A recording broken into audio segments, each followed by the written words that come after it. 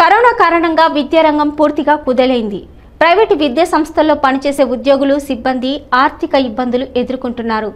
గత ఐదు నెలలుగా ఉపాధి లేక కష్టాలు పడుతున్న ధర్మారం ప్రైవేటు లెక్చరర్లకు స్థానిక ప్రజాప్రతినిధులు అండగా నిలిచారు. పెద్దపల్లి జిల్లా ధర్మారం మండలంలో కరోనా వైరస్ కారణంగా పలువురు ప్రైవేటు లెక్చరర్లు ఉపాధి కోల్పోయారు. ఆర్థికంగా ఇబ్బంది పడుతున్న యాభై మంది లెక్చరర్లను గుర్తించిన స్థానిక ఎంపీపీ ముత్యాల కరుణశ్రీ బలరాం రెడ్డి సాయానికి ముందుకొచ్చారు. మంత్రి కొప్పుల ఈశ్వర్ చేయుతతో లెక్చరర్లకు బియ్యం పంపిణీ చేశారు. ధర్మారం మండల పరిషత్ కార్యాలయంలో ఈ కార్యక్రమం నిర్వహించారు. ఒక్కో లెక్చరర్కు ఇరవై ఐదు కిలోల బియ్యం బ్యాగు అందించారు. ఈ కార్యక్రమంలో Dharmaram market committee chairman Gurram Mohan Reddy Medaram single window chairman Mutyala Balaram Reddy మండల సర్పంచుల ఫోరం అధ్యక్షుడు జితేందర్ రావు ఎంపీపీ తిరుపతి ప్రైవేటు లెక్చరర్లు టీఆర్ఎస్ నాయకులు తదితరులు పాల్గొన్నారు.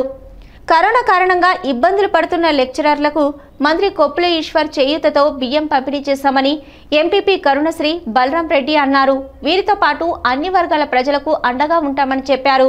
ప్రజలు అధైర్యపడవద్దని కరోనాను ధీటుగా ఎదుర్కొందామని అన్నారు.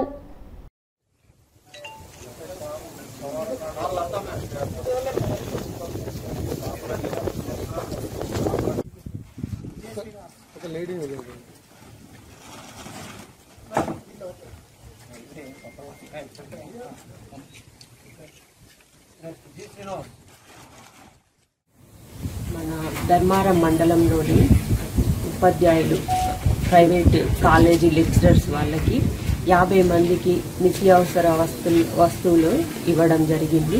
ఈ లాక్డౌన్ వల్ల వాళ్ళ కాలేజీలు లేవని తనకు తోచిన విధంగా ఎంతో కొంత సహాయం చేయాలని చెప్పేసి వారు ఈరోజు మమ్మల్ని పిలిచి ఇప్పి- ఇవ్వమని చెప్పడం జరిగింది. యాభై మంది లెక్చరర్స్కి నిత్యావసర వస్తువులు ఇవ్వడం జరిగింది. ఇది చిన్నగా భావించకండి. ఎవరి వారికి తోచినంతగా ఇచ్చిండ్రు. అందరికీ వారు సరిపోవచ్చు సరిపోకపోవచ్చు. ఐదు నెలల నుండి లాక్డౌన్ ఉన్నందున ఆలోచన ధోరణిలో ఉండడం వల్ల మా యొక్క మన బతుకులు దిగజారిపోయాయి. దీన్ని గమనించి మన సాంఘిక సంక్షేమ శాఖ మంత్రివర్యులైనటువంటి శ్రీ కొప్పలేశ్వర్ గారికి వినతి పత్రం ఇవ్వడం జరిగింది.